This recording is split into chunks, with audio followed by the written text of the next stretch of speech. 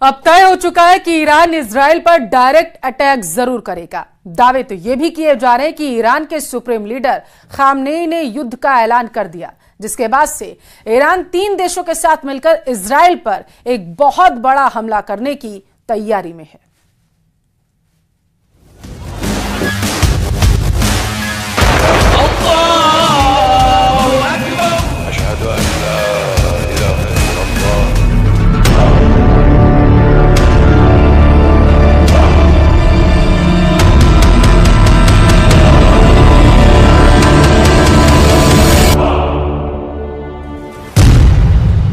Iran का आदेश Israel पर सीधा हमला।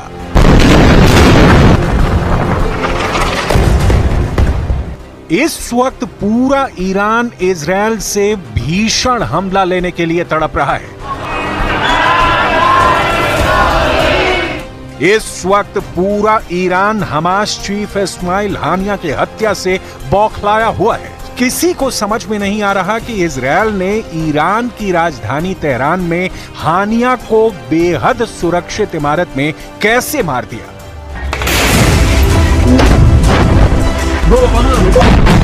पचास साल में ऐसा पहली बार हुआ है कि ईरान के सुप्रीम लीडर अली खामनेई ने इसराइल पर भीषण हमला करने का आदेश दे दिया है।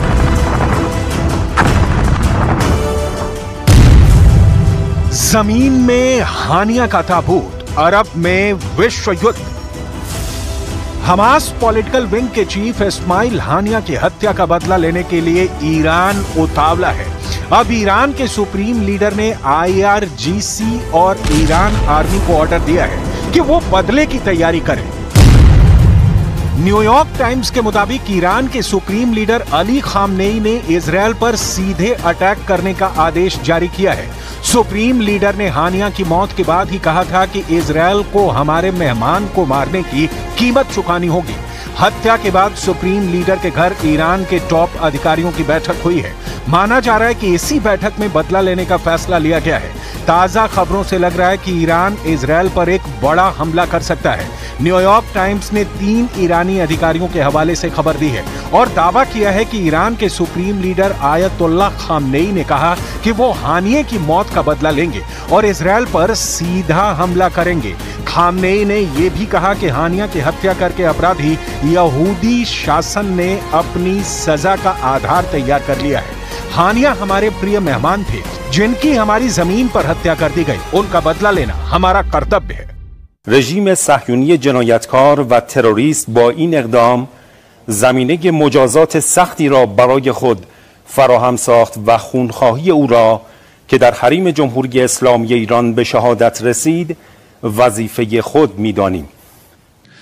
ימים מאתגרים לפנינו. מאז התקיפה בביירות נשמעים איומים מכל עבר.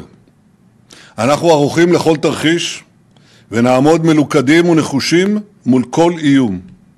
ישראל תגבה מחיר כבד מאוד על כל תוקפנות נגדנו מכל זירה שהיא.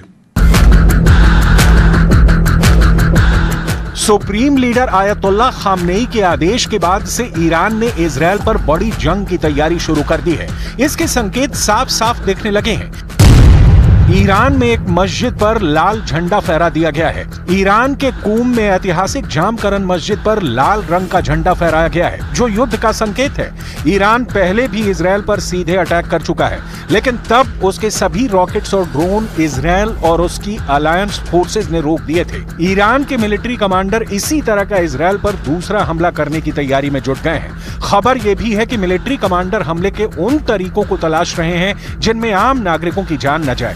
ईरान इस बार अपने प्रॉक्सीज के साथ मिलकर हमले को अंजाम देने की तैयारी कर रहा है। अगर इसराइल के ऊपर सीरिया, इराक, यमन, लेबनान और ईरान की ओर से एक समय में अटैक होता है तो उसके एयर डिफेंस को उन्हें रोक पाना मुश्किल होगा।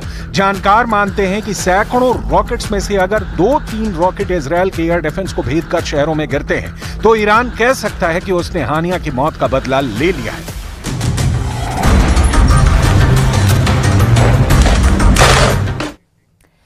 ईरान से तनाव के बीच इसराइल के पीएम नेतन्याहू ने अपने नागरिकों को हाई अलर्ट करते हुए कहा कि इसराइल अपने वजूद की जंग लड़ रहा है। तो वहीं ईरान में उसके supreme leader Ayatollah Ali Khamenei के घर में नेशनल सिक्योरिटी काउंसिल की एक बड़ी बैठक होने जा रही।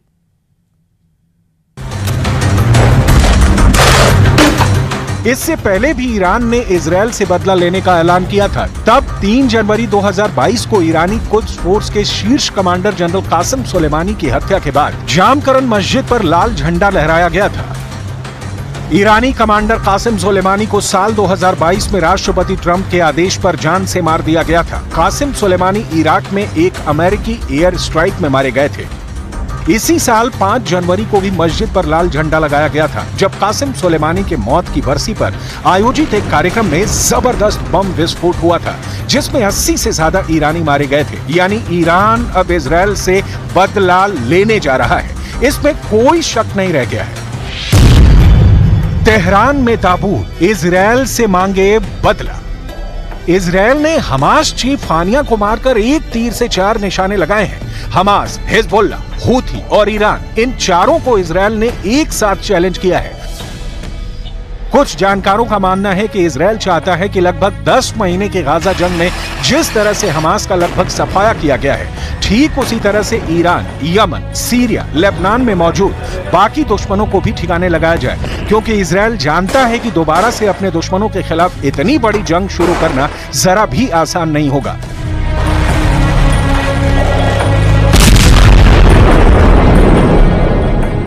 इसीलिए जहाँ इसराइल ने 30 जुलाई को हिजबुल्ला के नंबर दो कमांडर फौज शोकर को बेरूत में मारा तो वहीं 31 जुलाई को ईरान की राजधानी तेहरान में हमास चीफ हानिया को मिसाइल हमले में मार दिया गया।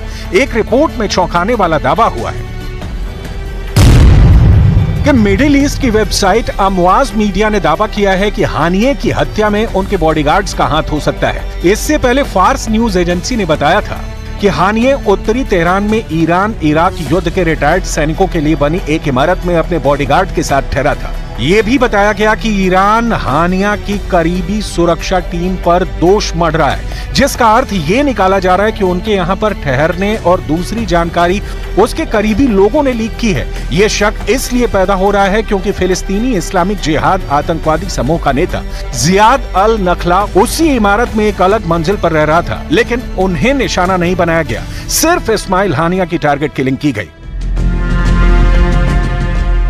वहीं दूसरी तरफ इसराइल के पीएम नेतन्याहू ने राष्ट्र के नाम संबोधन में कहा कि इसराइल के लिए आने वाले दिन मुश्किल हो सकते हैं। हम हर चुनौती का सामना करने के लिए तैयार हैं।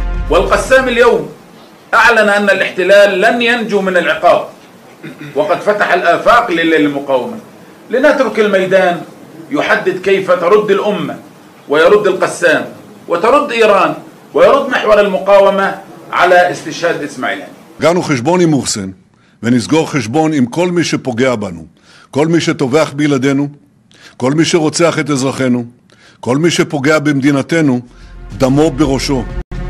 ईरान के सामने सबसे बड़ी मुश्किल यह है कि जो हमास चीफ हानिया ईरानी राष्ट्रपति मसूद पेजेशकियन के शपथ ग्रहण समारोह में बेहद जोश में दिख रहा था उससे भी एहसास नहीं था कि इसराइल ईरान की जबरदस्त सुरक्षा कवच को तोड़कर उन्हें मार सकता है खुद ईरान के नए राष्ट्रपति मसूद पेजेशकियन ने इसराइल के इस खौफनाक हमले से सख्ते में है।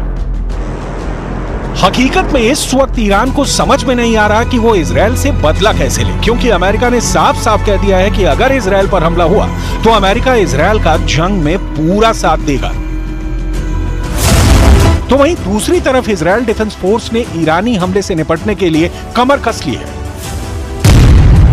इसराइल के रक्षा मंत्री कार्यालय के सूत्रों ने एक मीडिया एजेंसी को बताया है कि ईरान की धमकी के बाद आईडीएफ ने खुद को किसी भी स्थिति से निपटने के लिए तैयार कर लिया है। इसराइल के रक्षा मंत्रालय के सूत्रों के मुताबिक हमास हिजबुल्ला और समुद्र में हूथी के साथ मिलकर ईरान, इसराइल पर हमला कर सकता है। खुफिया रिपोर्टों के मुताबिक ईरान द्वारा सीधे या उसके प्रॉक्सी के माध्यम से कुछ हमले हो सकते हैं, जिससे निपटने के लिए इसराइल ने तैयारी कर ली है।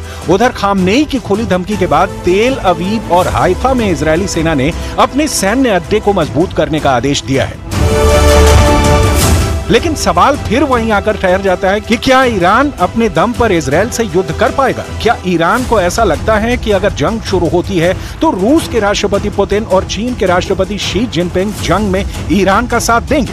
अगर ईरान का साथ रूस और चीन देते हैं तो फिर अमेरिका और यूरोपीय देश इसराइल का खुलकर साथ देंगे। और अगर ऐसा होता है तो फिर अरब से विश्व युद्ध शुरू होने से कोई रोक नहीं पाएगा।